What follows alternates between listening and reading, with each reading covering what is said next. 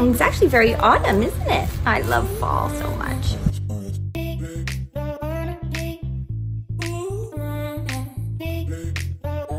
Flowers! Yeah! For the first project, I got this flower for my birthday. And so little like, I don't know if it's like a decorative or like cookies. Me, I'm gonna use it more like as a candle holder. So great, that just comes right off. Here, here, here, or here, here. Make sure we got a very generous amount. All right, so that's the first step here. So I don't know if y'all can see. There we go. Two little leaves, so let me go ahead and put those on. I'm just gonna cut them off. Okay, so I just line the leaves up with the glue and I'm just sticking them onto the rim. So here we go with the first one. So it's got some green on them. How cute is that? Go ahead and put my candle on. And ta-da! We got the first one, one and done. My summer candle. Yeah, perfect. The second thing is that I got this headband from Daiso, so it was only like a dollar. I'm gonna make a yellow headband. How y'all doing anyway? Yada yada. So I'm gonna try to place them. Okay, so I got the first flower placed. Okay, so we got the second flower on. I also got, I think I said, mentioned already, I also got um, these yellow flowers from Daiso. So the headband was like a dollar. The flowers were also like a couple of bucks. So we have a cute little bougie corsage style little headband. You can wear it this way, that, on the side. Hello there. Hi. Do you want to pick some flowers? Mm. Simple and affordable way to bougie up something with some flowers. Alrighty, and then we're gonna move on to the next thing. So we're gonna be making some potpourri because I want to always have my closet not smelling musky or any of my clothes drawers. And as you know, I love rose scented things. So I did go to Ben Franklin. I'll put a clip up. Okay, so we have the cute little potpourri bags. They come in different sizes, of course, and colors. We like that. Here to the essential oils, and this is pretty much what we need to do is we need to get these essential oils and put the flowers in a bag and let it simmer for about a week or so. Avocado lavender is popular. Lavender is popular. However, I'm looking for something more sweet. They have rose. Rose. I will probably go with rose if you haven't noticed. Again, I can't tell you enough that I'm a rose girl. So we're gonna have to go with flowers. So I had some flowers for Mother's Day, also some flowers for my birthday, and also some flowers for my date. So I just kind of held on to them. And as you can see here, this is the most recent batch that I'm going to be cutting. Essential oils are everywhere now, so I'm sure you'll be able to get your hands on some. And then you just choose your favorite scent. So I have the Rose Essential Oil. Oil, it's for aromatherapy, soap, candle, vaporizers, lotions, and diffusers. So really cheap. I only spent like, I think it was like five, ten dollars. I also make great Mother's Day gifts or just gifts in general if you want to gift your friend with some nice cute little potpourri little sashes for their closet or for their underwear drawer or for whatever drawers or actually for the bathroom, actually anywhere. So, you know, gonna be needing some bags, just your whatever size Ziploc bag. Step one is you're gonna get some flowers. All right, dried flowers. So you're gonna just cut them.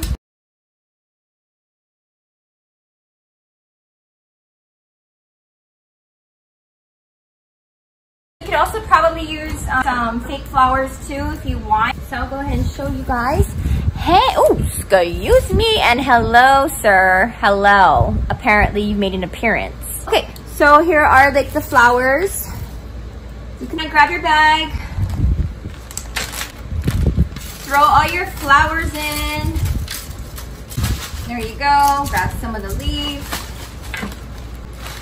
Grab your scent. Now, as far as the amount, you just use your discretion.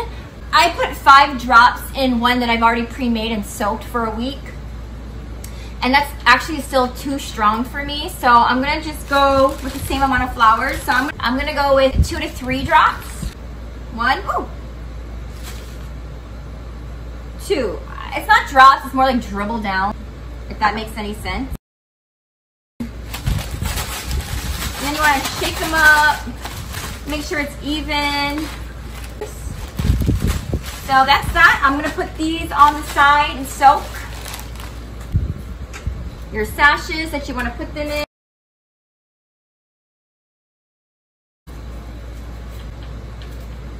Oh. Tie that up. And there you go. You can go and hang them. So you can make them in different sizes. So there you go. Oh, they smell lovely. You can put them in your little Mm, it's actually very autumn, isn't it? I love fall so much. Okay, so it's so fitting this video. I got some summer things as it comes to close, DIY flower things, and then also some fall potpourri.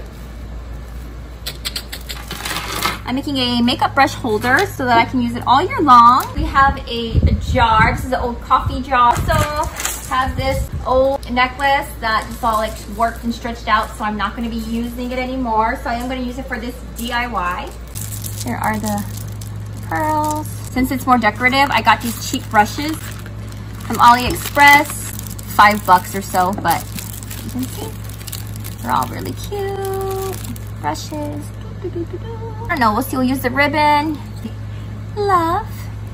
Love me, love me, Whoa there. And I know you guys are probably thinking, why on earth would she be cutting it up? And honestly, this thing is so damn heavy. It gives me a headache when I wear it. So uh, I've had it for over 10 years and I just think that uh, change is good. So, and now I can appreciate it. It's so cute because they're like all different sizes. We had those silver parts connected on the bottom, if you can see. So obviously you don't want those in them.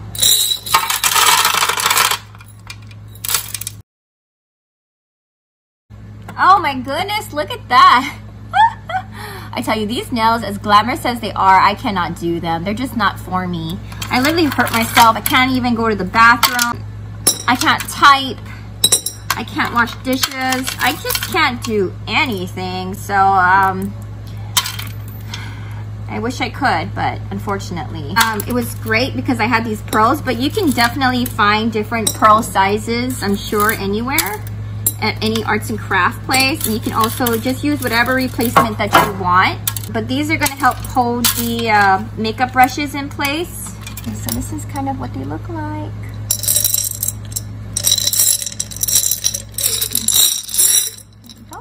Some glam. I don't know, I'm kind of liking this uh, neck choker portion of it. I do love my black and whites with pop of color.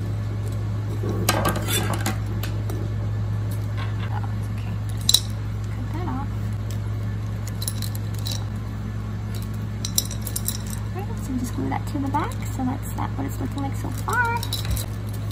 Okay, so I'm gonna go ahead and glue this around the rim. That way it has a little bit of a sassiness to it. As you can see, I'm using the neck choker. So it looks like this little thing is wearing a neck choker. So it's like got its cute little pretty little white dress on, but of course it's a little bougie with its neck choker here. Back, it's got the chain. And then I still have this ribbon from the neck choker, so I'm going to use that In part, so I'm actually either gonna let it hang like that, or I might just like keep it dropped down. Well, um. Sorry, I do have one more DIY, but I have to take care of something, so I won't be able to complete that in this episode. I will, however, definitely take care of that next DIY on another episode, so please stay tuned.